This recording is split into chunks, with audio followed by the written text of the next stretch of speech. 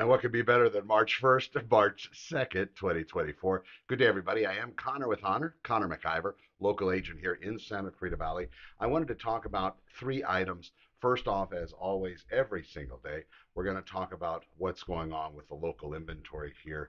And what I do is I have pre saved searches that show me exactly what's happening in regard to that inventory. So yesterday we were just almost at 300 homes for sale. That includes condominiums, townhomes, and also single family residences.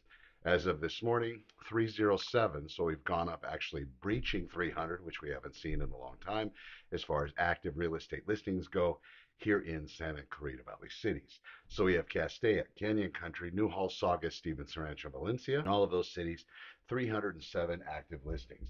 Then looking at the real estate news, I wanted to cover a couple items that people are talking about. And they're talking about using your home equity to buy a second home. A lot of my clients out there, people I've sold real estate to in the past, they have equity. So now they're deciding, oh my gosh, retirement's coming up. Should I use some of the equity in my residence to buy something else?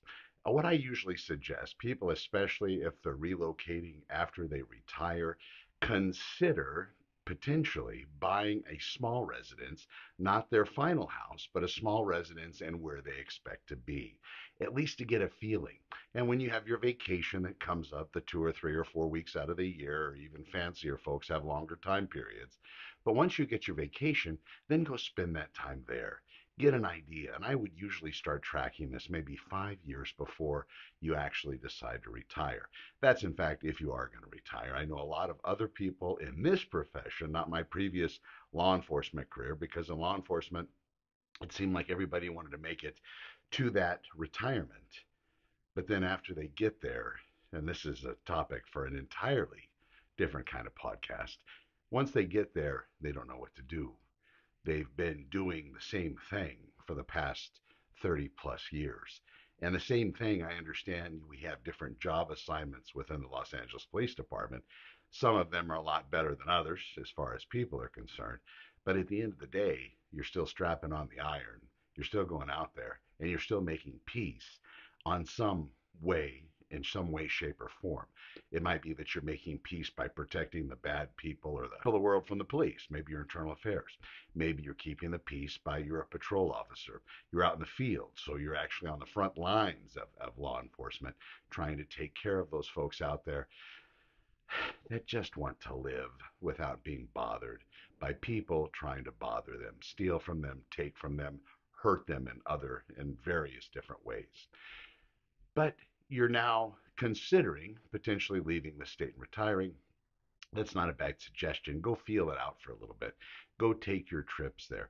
And of course, I'm not telling you anything you don't already know, but before you start stripping valuable equity out of your residence and start to place it into a market you might not know as well as the current one, because you've already seen the last 10, 15, 20 years of what's happened by you just purchasing a residence in Southern California maybe keeping it up just a little bit, that's going to translate into an entirely different animal when you get to another state who doesn't have as re- ro- robust an economic outlook and economic platform as Southern California real estate. Our properties tend to appreciate a lot quicker, depreciate a lot slower. And when we have our cycles, usually there are some protected areas for example, the most expensive being in the Platinum Triangle, the Holmby Hills areas, the Bel Airs, the Brentwoods, and the Beverly Hills. Those properties are pretty much bulletproof when it comes to different cycles that occur in real estate. Right now, of course, giving them the most opportunity for those sellers in those markets because those price points are so incredibly high. But we're still seeing that, and they're not building more Beverly Hills land.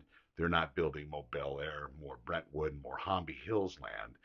I'm going to have to go through and narrate all this and find these different things because I'm sure the Chat GPT and the systems that I'm using to compile the data after with regard to this show are probably cutting up those words horribly, but I'll have to check. Anyway, that's from me to you, my mouth to your ears.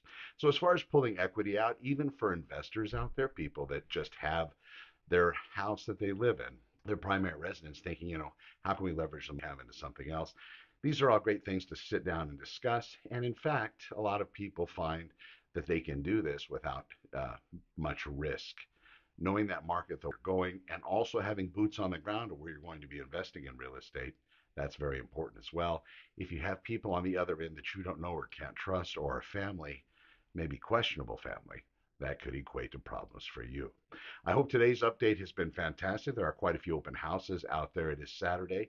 We'll be back with tomorrow's broadcast Sunday. But as far as real estate inventory, finally, we did breach 300 units for sale. That includes active properties. Uh, that's going to also be coming soon properties, about 16 of those. And of the properties out there listed for sale, these are townhomes, condominiums, and single family residences in all of the Santa Cruz Valley cities. 307 active. Something I found interesting yesterday, and I'll do a little bit more about this, but I had to join a separate board of realtors out in the greater Antelope Valley. As I was pulling properties for clients to show this weekend, I discovered that every single listing we're going to go look at wasn't even put in by a member of their local board of realtors. I believe that action, folks, does the client, the sales, the sales end of it, the seller, a massive disservice. I'll talk more about this in a later show, but that's something that you might want to consider before you hire somebody to represent you in the sale of your real estate. Have a fantastic weekend. I am Connor with Honor. Over and out.